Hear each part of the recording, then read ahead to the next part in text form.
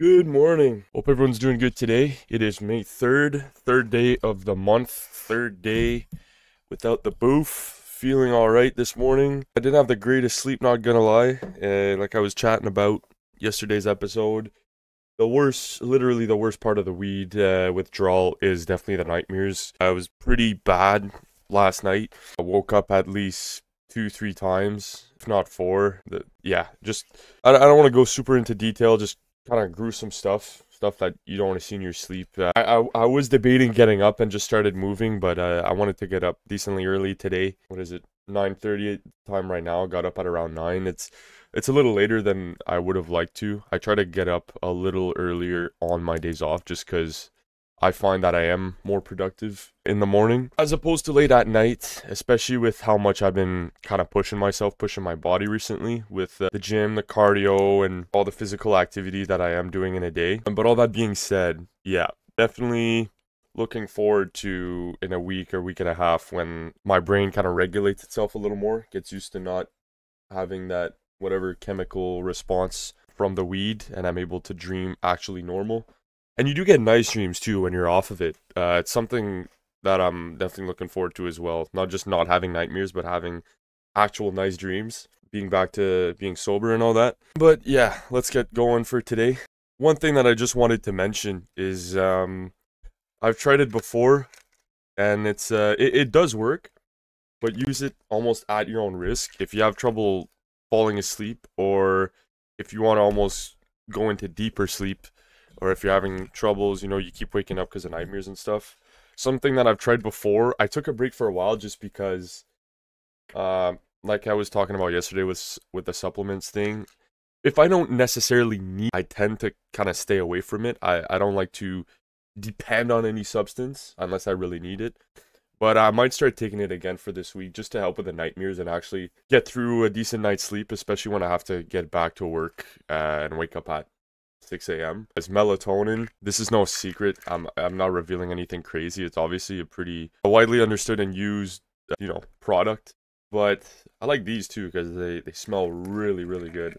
Chamomile and lavender flavor, and they do work pretty good. These are the Vicks kind. But yeah, I just thought I'd put that out there for anyone going through like the the first week or two of uh, of taking a break off the weed. Just because I know based on the last two episodes, uh, I did get some comments and some messages based on on that on the weed withdrawal and all that. So uh, yeah, just thought I'd I'd put that out there to help. But yeah, for today, uh, we're gonna keep it a little open, but some stuff that I wanted to touch base about is uh, business. It's something that I'm very passionate about. I actually went to school, college, for two years for it, in a fitness and health promotion program. I loved it. It was right up my alley. I, I was mostly, honestly, I mostly entered that program, and I see a lot of people doing this for to please the people around me. So my folks, just so you know, I, I would be in a respectable profession and also because I knew for sure that I would land a, a good job, right? A government job. It's it's a, a, safer field to be in, coder, right? There's a lot of demand.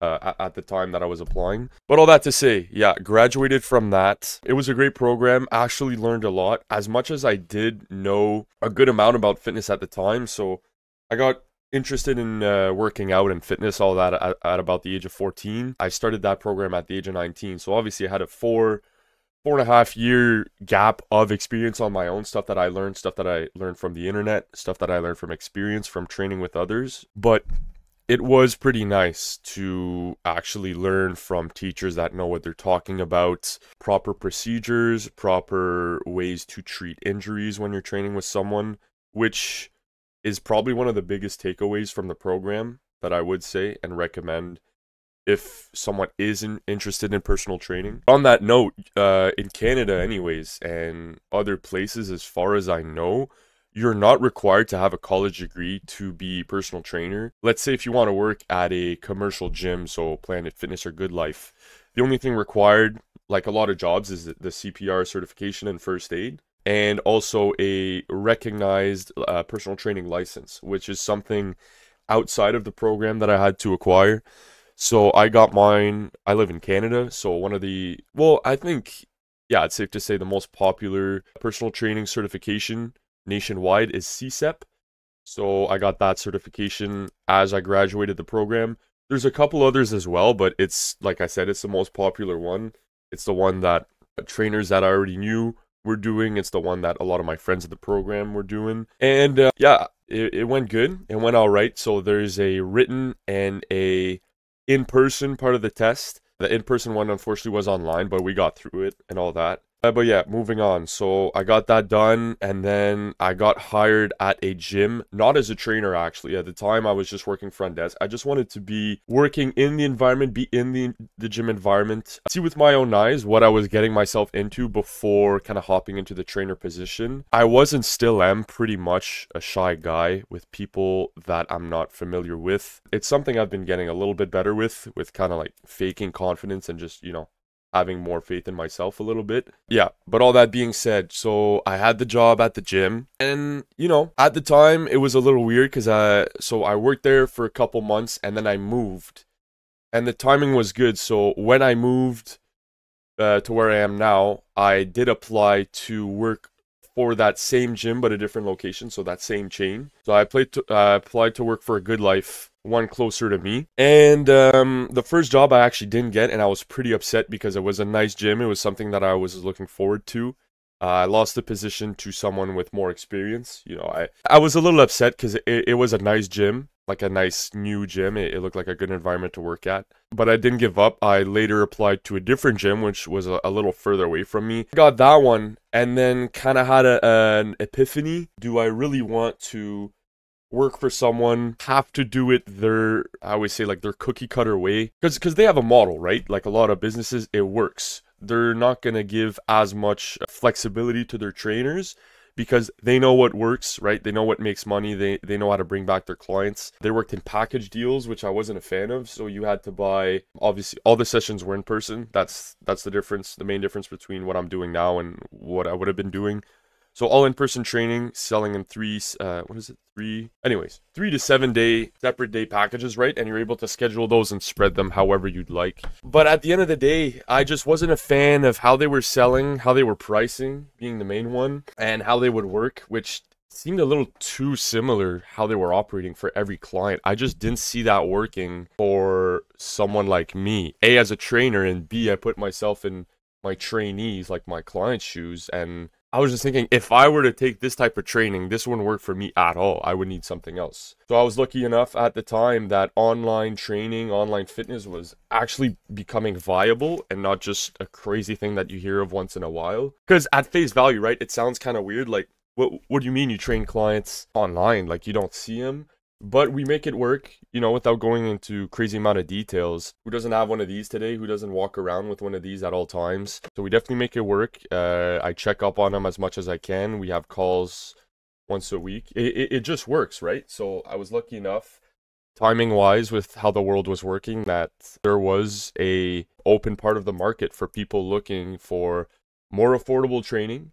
And it's more realistic too right I, I train with a lot of students and busy, not just students, but people around my age or older that have jobs that I'm not able to meet in person or right three, four, five days a week. It just doesn't work. There's even folks that I'm training two hours away from me. There's folks that I'm training in a different province. There's people I'm training across the country. I, I was even training someone from India, right? So I would not be able to have that diverse base of clients if I wasn't training online. An- another advantage too of having that online type of business is I'm able to work on it on my own time as much as I want. So that being said, uh, I can stay up all night or get up super early, work on, bang out all the work I need to do for the week, bang out all the the client plans, their meal plans, book the calls when I need to, when I need to make that happen. So yeah, I thought about it through just to loop back around, and uh, yeah, it just made more sense to start my own thing at that time. I politely declined his offer to work for that gym and I just let him know I'm like I think uh, there's a little conflict here. My heart isn't fully into it and you know, I kind of let him know I'm I might just do my own thing. I think that was the the last kick that I needed to get going. And uh, yeah, something I didn't mention before, even when I worked at that first gym just at the front desk, on that computer too or like like on my phone while I was working there I was kind of brainstorming. I always wanted to kind of start my own thing. It's something that I've thought about for a while. Just being your own boss, making your own your own rules a little bit. Not that I don't like working for someone else. I, I don't, but it's not the full reason. I, I'm just a really big fan of all the downfalls and all the ups, all the positives all fall on you, right? If you're having a bad month, if your your sales aren't up, it's your fault if you get a bunch of clients and it's going good, it's all your fault. So the business, when I work for myself, when I'm the owner, it all falls on me. And I, I, I like that kind of pressure. I'm not gonna lie. And it does it does push me to work a lot harder as opposed to being under someone else where sorry, if the business does get good, it doesn't matter because I do get paid by the hour. As opposed to this, I get paid more for every client, right? So big fan of that and uh, it was just a no-brainer at that point like i said it was something that was on my mind. And uh, just the fact that i was doubting it after leaving that successful interview like that second one that actually gave me the job that was it. I had a call with my my mom very wonderful woman with a great head on her shoulders and uh, I'll be honest, I already knew the answer. I just wanted, you know, sometimes you just want to hear it from someone else. Part of the reason why we confide in people, right? Sometimes your heart knows where you want to go. Your heart knows the decision. It doesn't need it doesn't need time. Up here just needs to figure it out, right? So it's like the popular saying, always follow your heart. And and there there's definitely truth to that because I think I'm a lot happier now than if I would have been stuck there. I say stuck. See, even like like words like that just naturally came out but that's really how i feel. I, I would have been stuck there. And even though i mean i'm gonna be real it's not i'm not making crazy amounts of money right now where i'm able to live solely off that right? I'm doing other stuff. And i do have a part-time job as well to feed into my income. But this is only the start which is how i like to see it right? In only a year i've gone up to 15 clients so give me another year, give me five years, give me 10 years. Where am I going to be? Am I going to own my own gym? Am I going to have trainers working under me? That's all stuff in the plans, right? But it's it, it's a slow it's a slow race. It's a marathon, right? Not a sprint. So I think also in the long run, if if we're talking money, not that it's all about that, but it's right business. It's it's it's a main part of why I'm doing it for sure. I'm not doing it solely because I love training and I'm passionate about helping others which is you know I want to say like sixty percent of it, but the other forty percent is your boy's got to make money, right? Food ain't free, clothes ain't free. You know, man's got to eat. Yeah, but all that to say, yeah, I'm, I'm kind of looping around there, but the main thing I wanted to say is it's a lot easier to start a business than most people think. I'm I'm saying this because I've I've talked with a lot of people and you know start to confine in me because they see that I've done it and they're like, it's one of those things that I was thinking as well when I was starting. Like, man, this this guy can do it. This this girl can do it. Why can't I? And obviously, there, there's harder models than other ones. I kept mine very simple at first, but it's always evolving too, right? At first, I would send my plans out by email. I would write everything on hand, PDF, send them out.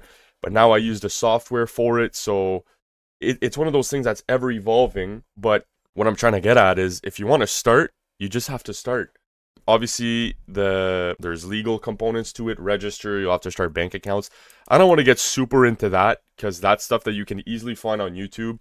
It's stuff that i i learned all of it by myself and i'm not i'm not an idiot but i'm not the smartest guy right? I didn't go to school for business but i just want to say if someone like me can figure it out when there's a will there's a way right? You just you just have to spend the time on it and it's it's something that you actually have to care about. I don't think you should start a business just because you want to make money. I see some of those fail. I think that for your first business, anyways, some people disagree on this. Some people say it should be something that you're passionate about. I've heard others say that your first business shouldn't be something that you're too tied to it uh, emotionally and passionate about because you will make decisions based off your heart.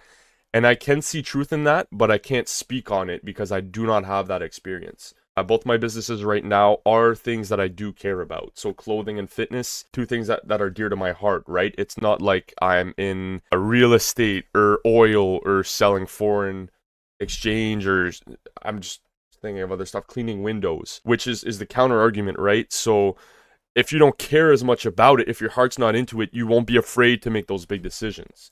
Which I definitely understand, and there's definitely truth to that. But like I said, I can't attest to that. That's just stuff that I've heard from from talks successful businessmen. But yeah, back to what I wanted to say. So starting a business, anyone can do it.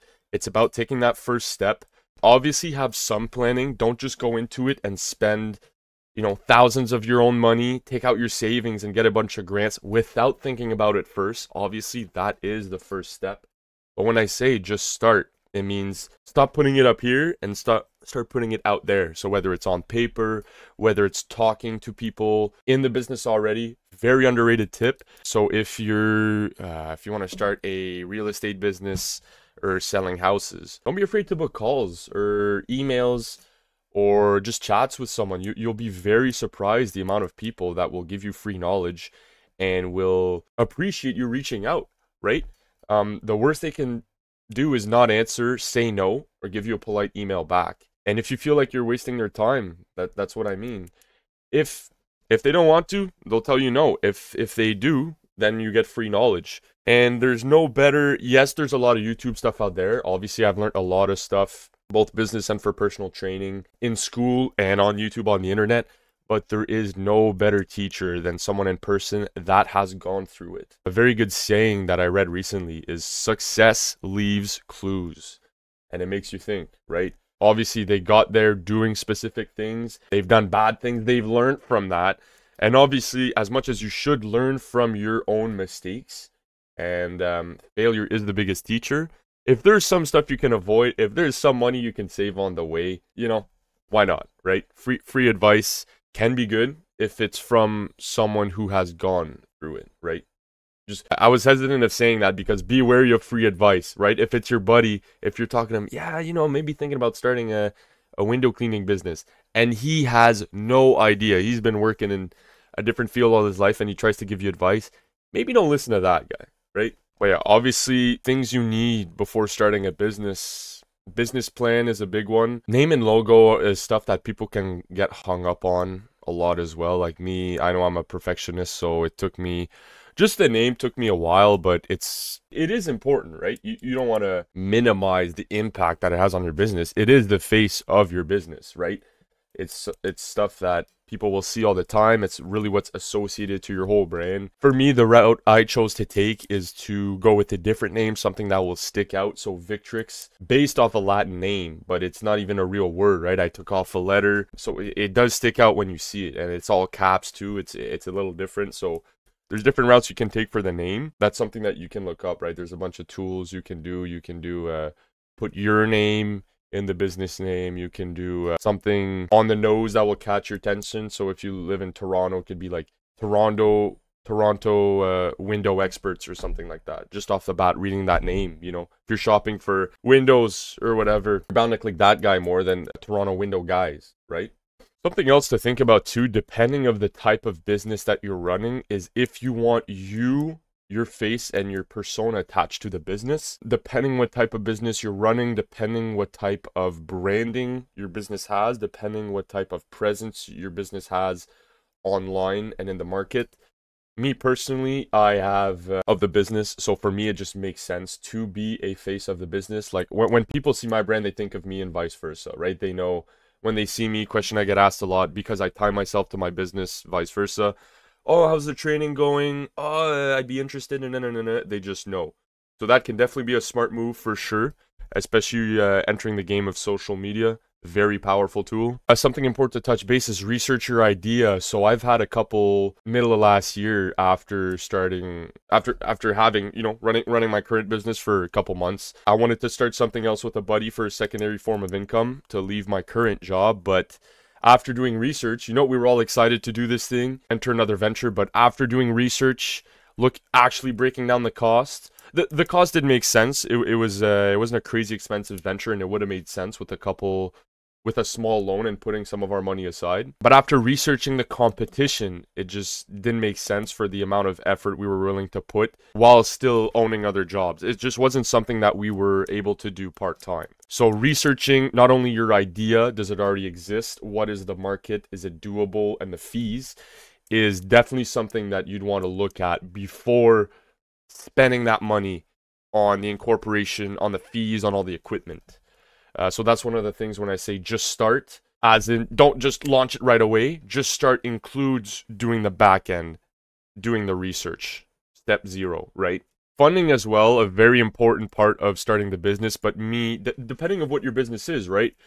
Me, just going back to me again as an example, uh, when I started my online personal training, all I needed was I already had a computer. I didn't even use the softwares that I use today. So I use a software for the meal plans. When I say a software, it's it, it, it just makes it nice and tidy on the PDF. And I use the software to deliver the training. But when I started, man, I used Gmail to send out the uh, training programs. I think I only paid for what did I pay for? One service to book my calls. So automatically when someone signed up for the, the questionnaire, right? For all their information if they were interested in training. I think it was Calendly, it was called. So it would send an email and then it would book, link it to my calendar and, and it would let them book a time, which I don't even, I don't even use anymore now. It's a lot more text based and all that. Um, it, it's more manual. I didn't like the automatic approach because my calendar does shift a lot and I, I rather work with them. Uh, but all that to say, depending of your business, yes, evaluate the costs. Yes, definitely write down a cost sheet, right? What it's going to cost.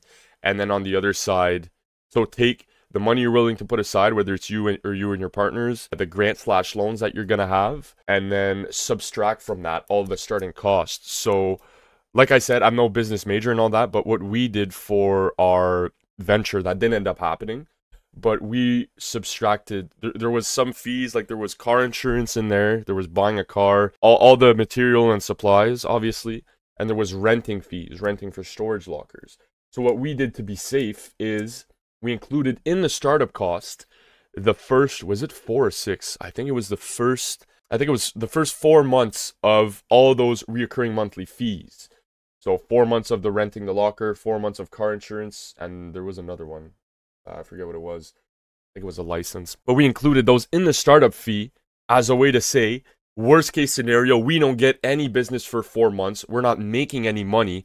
This is just going to take away money from our, you know, our budget. So we'll definitely be smart about the um, cost plan, I guess you want to call it, and and look at you know what like really think about it thoroughly because we thought like you know when you think oh man this is cheap like you're thinking cleaning windows I, I keep using that example because I, I had a summer job one time cleaning windows. And you might think at first it's cheap, you know. Oh, it's just soap and water, man, and rags and all that. That'll be, man, 50 bucks for a month. We're good. We're going to be making bank. But what you don't realize is you got to buy at least two to three different types of ladders. Even used, those are going to be expensive. You need a car, whether you're loaning or buying, you need insurance on that car. You need the proper straps on top of the on top of the car. Just all that adds up right? If you're you, you're probably not going to do a house alone it's going to take you three times the amount of work. You got to hire one to two other employees. Just really thoroughly think through sit down with yourself or you and your partner and think through all the costs as little as it is the gas gas is another thing that you got to keep in mind right if you have a car price of gas ain't cheap insurance, just all the little stuff like that, right? Any software you'll need. Yeah, just really think it through because the last thing you want is to be in the hole when you're when you're starting to get off from the business, right? By registering your business, I don't want to get super super into it because it's more of a legal part of thing. One tip that I can give, I think it's only for Canada, but if you're looking to register or incorporate your business and you don't want to go through the manual way through the government, there is an amazing, I guess website organization that does it for you. They're called Ownr, so O W N R. I do believe they're owned by RBC. Whether you want a sole proprietorship or you want to incorporate, I think sole is 50 bucks because I was sole at first and I recently incorporated. I think that the incorporation, excuse me, is uh 300 with some other fees. So they do charge, is it one or 199 a year to take care of updating your books? Which is something you would have to do manually, takes a lot of time or you hire I don't even know who you would hire for that. Probably not an accountant, but a lawyer, maybe a business lawyer. Anyways, they take care of that for you for the fees, and it's something that you are able to write off. So I definitely recommend them. And I'll have a look if I'm able to put a discount code or whatnot or a referral link to save you guys. It'll be down below. So keep an eye in the description for that.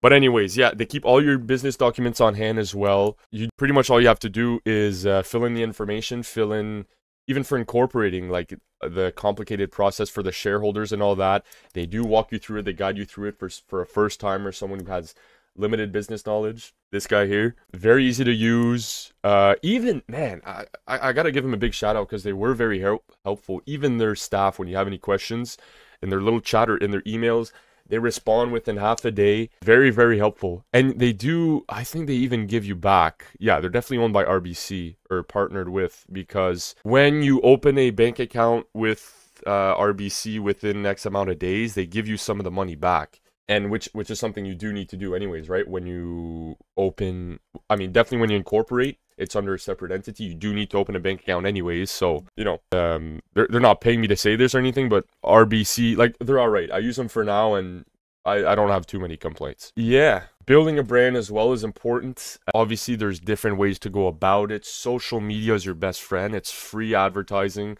You can get in front of thousands, if not millions of eyes if you're doing it well. It's what I've used for most of my marketing. I'm not I haven't even paid for a single ad. I've been running my business for a year and I'm still do working off word of mouth and just engagement on social media it's free, especially the way the, the the virality of the algorithm is. What I mean by that is, if you catch it right, stuff can fly off right. Free views with, without paying a single penny. So use that as your best friend. I don't have any experience in TV or in person or radio in person, as in like mail or paper advertising. Not something I want to dive into. It just doesn't seem worth it for my business right now because my business is online. It just makes sense to advertise online. That is my customer base. But I'm going to keep going to the window cleaning example. That might not be a bad idea to advertise in person, right? Know know your niche. I don't want to dive into the niche. It's something that you can look up if you want to start your own business. Uh, finding your niche is definitely important. Finding your avatar, as they call it, so your perfect client. So, for example, I'll, I'll just touch base a little bit. Me, my avatar, my niche I'm looking at like 18 to 30 year old men that are into bettering their lives, into fitness. Yeah, I don't, I don't, I don't want to give it away 100%, but that's like a broad niche for me. I mostly target guys, uh, like I said, young adults looking to better themselves, looking to fitness. Yeah, what was I saying about advertising? Yeah, depending of your business, it might just make more sense to advertise in person, like flyers because window cleaning is a lot of word of mouth and let's say i clean this guy his neighbor might want oh man i was talking to jerry next door eh? Did a great job. You gave him a good quote on his windows. Hey while we're here sir yeah nice to meet you. We're toronto uh, window experts. Yeah we'll give you a quote there if you give me five minutes me and my boys uh, and then you give them business cards or hey do, do you mind if uh, we leave a flyer here uh, on your mailbox I, I saw? That might work more than on social media because you don't want if you're working in the Toronto area, you don't care about advertising over to Sudbury or Vancouver, right? You don't want those ads to go all the way out there. So know your market, know your avatar, know your niche, and experiment. Not saying do just one, try it out. You know what I mean? I've tried flyers in person for my training. I didn't get a single response. I do stuff online. I get a lot more engagement from that, right? So don't be don't be afraid to try different stuff, but when something works, stick with it, right? Supportive team, uh, and having people around you that not only support your business as in like you know give you money but i mean just people that not just resources but support you in, in the sense that feed off friends and family that support you for sure. That's going to be very helpful especially when you start a business. It can it can look very dark very gray for the start when the money isn't necessarily coming in at first but you know you got to keep a head up chin up and that's why you need those people in your life you know what i mean and and when I say that, I know there's a couple people that come to mind, and those are the ones that they're really gonna help out. So don't be afraid to. Uh, what am I trying to say here? Just just appreciate those people for sure, and, and make them let, let them know for sure, right? It, uh, a, a verbal thank you can go a long way. And I'm not, and like I said, not just the ones that like buy your service. Like I don't, I don't train all of my friends. I train some of them, but just the ones that are there in support, or when I put something out, just give me feedback. Even feedback. You know what I mean? feedback doesn't cost anything just costs them five ten minutes if hey can you look over this hey what do you think of this and an honest opinion is the best one right you, you don't want a yes man so I, I always tell people when, when they when i do ask for their opinion for their feedback i tell them please like be brutally honest because that's the only way that i will improve and get better but yeah what i meant also by su- supportive people around you is your team if you are going to have people under your belt hire trust is the biggest thing if you own the business, if the business is under your name, if you are the boss, I would rather have someone with a little less skill, but that I trust, not with my life, but almost, right? That I trust with my business, than someone with all the skill in the world, but that I don't trust at all. That's just how I operate because I always think that you can train someone, you can make someone better, you can mold them into the type of employee, the type of worker that you want, as opposed to trust and loyalty is a lot harder to learn and teach and doesn't necessarily come with time, right? People tend to show their true colors. So that's one big tip that I could give on hiring. And uh, not only that, but if you're going to be working, depending what type of position, if you're like a call center type of job, it doesn't really matter their values and morals. It, it, it, it, it obviously matters because these people represent you. But if they're doing like a copywriting type of job, a physical labor type of job, it doesn't matter too much but what I'm trying to get at is if you're if you're hiring like a assistant manager, someone that will represent you and your brand in person, have those dialogues, have those conversation with clients, have like if I were to hire a, another trainer under me, a physiotherapist, I want someone that has the um, training philosophies and the values that me and my business represent. Right? It would any clash of ideas, you're just moving backwards if you're doing that. And uh, what I mean by that is just what they value in terms of output of work. It doesn't matter their their their background or, or what they believe in in terms of you know religion or what they do at home. That's fine. Obviously, like diversity is never an issue in that aspect. I just mean in in terms of uh, work productivity, right? You don't want the gears to clash. You want them to all work together. Yeah. The last piece of, of advice I could give is be adaptive and be willing to change. Obviously, in a business, especially in this type of world, the fast moving, fast consuming type of world, you want to be alert to what's going on. You want to be adaptable. Some models, some types, some industries are, are more malleable than others. Like, for example, window cleaning's always going to be window cleaning there's unless they invent like crazy robots to start doing that but even then it's it's you're cleaning windows right? There, there's one way to do it. There's different ways to bring the service but at the end of the day you are cleaning windows.